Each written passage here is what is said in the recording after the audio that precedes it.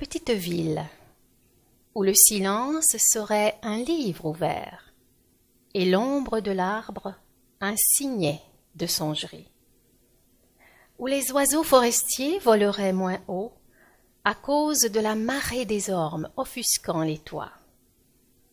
Petite ville où la rivière garderait comme une reine le droit de traverser les terres d'un règne lent.